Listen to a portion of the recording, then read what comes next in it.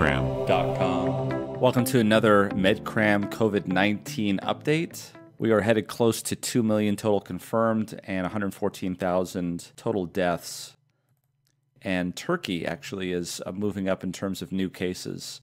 The United States and the UK are both also at the top in terms of new deaths. When it comes to the University of Washington model, we can see here that we may be at the peak or coming very close to it here in the United States.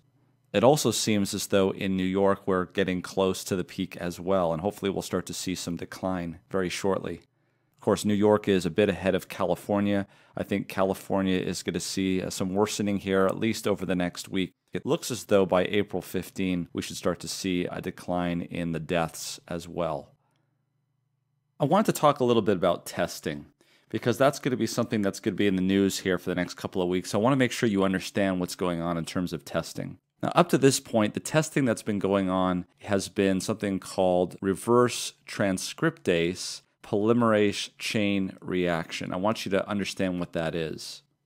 So the sample is obtained from your nose. Basically, a nasopharyngeal swab is put up there and they get some of the mucus and they put it in a test tube for testing. What we're actually looking at here is the RNA. And so here we have a strand of viral RNA and it's single stranded. So the base pairs are exposed, and those base pairs are in a very specific order. What we do at this point is we add nucleotides in that will bind to these in a complementary pattern and will form a DNA strand and we use something called reverse transcriptase because we've got to go from the RNA to the DNA. Great, now we have a DNA. And then what we do is we basically go through a cycle where these things will unpair, and then we'll use an enzyme to copy that one. And then we'll tear them apart by heating them up or by using some other means. And then we'll do the process all over again. And you can see so forth and so forth. And so basically, what you're doing is you're taking one strand of viral RNA and you're going to start to make a whole bunch of strands that are the same as and complementary to that original strand. And then what you'll do is you'll be able to detect a specific pattern by putting a probe down. And if it's in a specific order, you'll be able to detect it somehow with a probe that matches up particularly with that sequence and you'll get a positive result. You can see that there's a lot of steps involved in this process, and if anything goes wrong at any point along this process, you're going to get a negative result, even though the virus is actually there. This is called a false negative result. And sometimes it's not that bad. Sometimes you don't get a lot of false negatives. But as the false negatives go up, the sensitivity of the test goes down. So you want to increase the sensitivity in this case because that's going to reduce your false negatives. And in this case, it's very important not to have false negatives because you might have a patient who is positive for COVID 19 that you're going to treat as if they were negative. But the thing that I want you to understand is the reverse transcriptase, PCR, is looking for actual evidence of the virus inside your body. And so, if we find the virus either in your nasal secretions or in the stool or in any sort of samples, that means the virus is still there. Now, that's completely different than what we're about to talk about, which is antibody testing. So, you have these cells called monocytes, macrophages, which eat foreign particles and present it to the adaptive immune system and they detect cells that have been infected with the virus. So here's a cell that's been infected with the virus, and a macrophage will come along with a nice big nucleus, and it will basically engulf it, kill the cell. And now what happens is this macrophage, which has now eaten part of the cell, or all of it perhaps, will chomp up and put on its receptors out here parts of the cell. And then you will have a T cell come along, and we're trying to be as generic here as we can. It will present the antigen to the T cell, and then the T cell will cause memory to remember this. It will also stimulate B cells to make antibodies. Plasma cells, generally speaking, are the ones that make antibodies. And it turns out that these antibodies will specifically bind to these antigens and destroy. And so, what does this mean? If we start to see antibodies, then that means the body has built in adaptive immunity. And you can actually test for these antibodies. So, if you have a positive antibody test here on this side, this does not mean that you have the virus necessarily. It's possible to have the virus, but what it does mean is that you have been infected in the past, number one, and now you have immunity because you have antibodies. The only way you could have antibodies built up against this virus is if you had this first part here known as the innate immune system, which finds these viral particles and presents them to the T cells, and then the T cells stimulate the B cells and plasma cells to make antibodies. So, why is this important? Because if you have antibodies, then that generally speaking means that you can't be reinfected again. Now, that is a probable statement. It is possible that if the virus mutates enough and is able to get in, you won't have an immune response against it. Because if this antibody is against a particular part of this virus that mutates, now the virus can go and get into your body and not be attacked by the antibodies. Now, we've talked before about this in MedCram Update 42. So, if you go back to Update 42, you'll hear us talking about the study with the monkeys. And what they did with the monkeys was they infected them, and then once antibodies were made and the tests were negative, they tried to reinfect them with the same virus, and they were unable to. So, that is a reassuring study, but we still don't know how long those antibodies last and if the virus mutates, whether you could be reinfected again. This is what happens with the cold. This is what happens with influenza, right? Influenza mutates every year, and that's why you need a shot every year for the new version of the flu virus.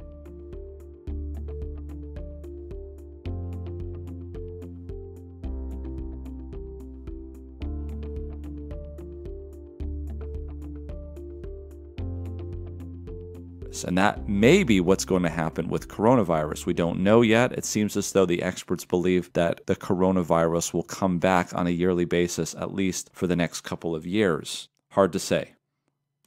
Well, they are planning on doing a number of large scale COVID 19 antibody testing in the Southern California area. And they're going to probably be doing it a lot in your area because this may be the key to getting people back to work. Because if people have the antibodies, these are the people that could probably go back to work and not have to worry a lot about reinfection or spreading it.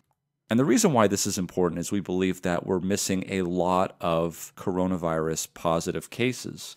And if we're able to figure out how many people in the population might already have been exposed to this, then we can know better about when to end this social distancing and this isolation.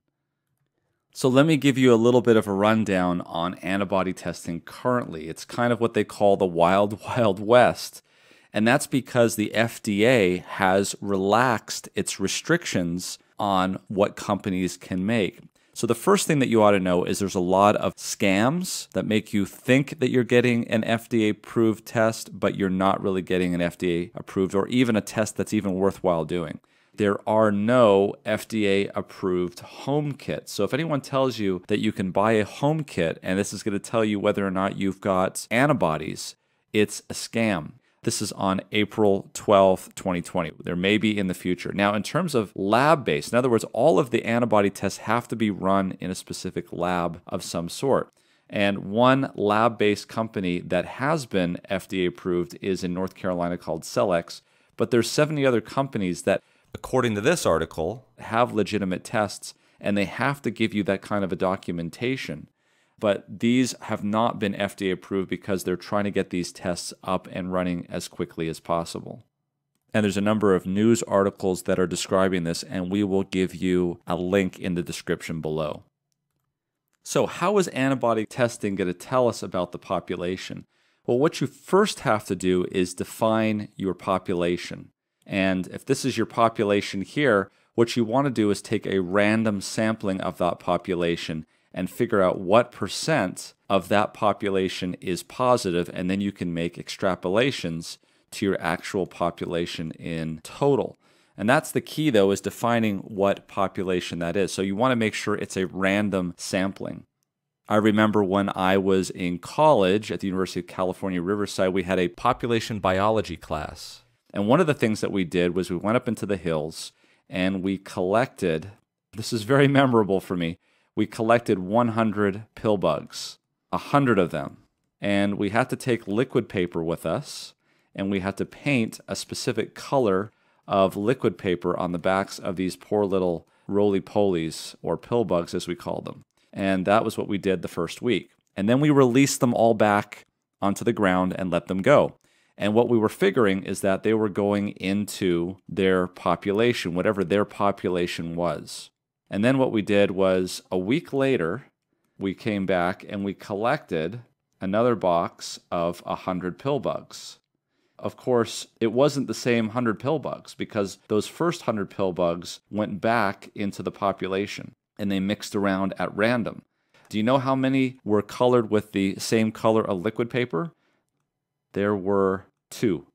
Two pill bugs that were the same color. So, what we were able to do was make an abstraction based on first that the 100 pill bugs that we collected represented just 150th, right? Because we had two out of the whole 100 of the actual population. And so we were able to figure out what the total population was of those pill bugs based on doing this experiment. That's not exactly what we're doing here, but it kind of tells you how to define the population. It's important if you define the population because when you take a sampling of that population, it's going to have to be homogeneous enough for you to make an assumption that if 5% of this small portion of the population is infected, that in fact 5% of the larger population is infected. Or in this case, since we're looking for antibodies, if 5% have antibodies against the SARS CoV 2, then 5% in the entire population would.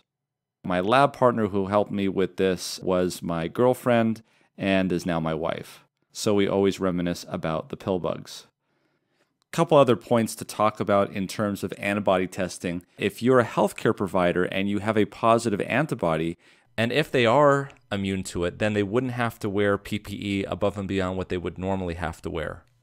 If you're a teacher, for instance, you don't have to worry about going back to school and getting infected. You're not going to be able to pass it off to anybody.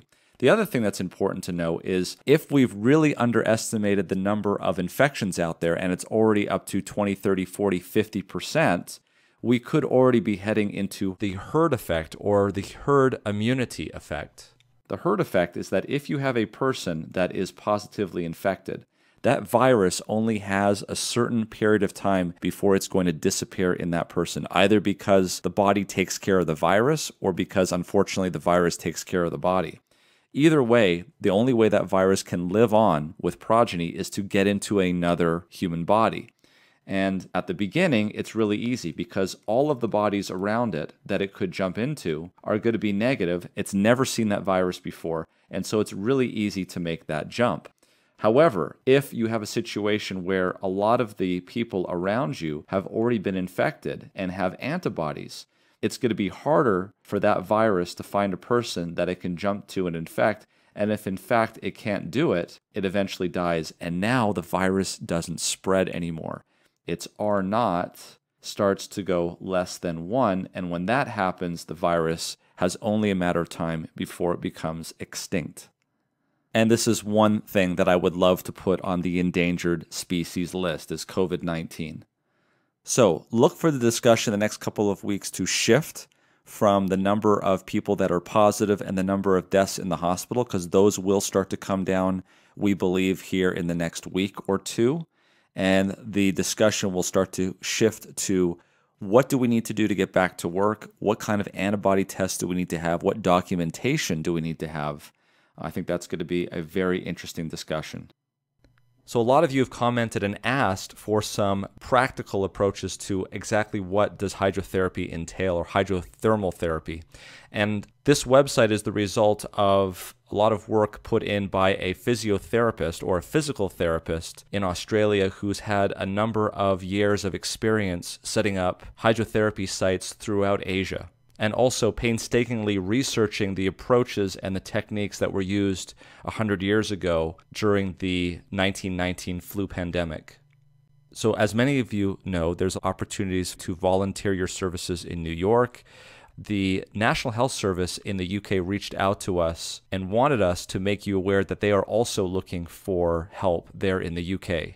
And they are looking for registered and unregistered healthcare workers, as well as a range of key roles in non clinical areas I have a special connection to the United Kingdom. My mother trained in nursing at the Queen Elizabeth School of Nursing in Birmingham back in the 1960s. And of course, she's retired now. But if there's anyone that can help in this situation, please go to this website. We'll put a link in the description below. Don't forget to see all of our MedCram videos at our website, medcram.com. We'll see you next time.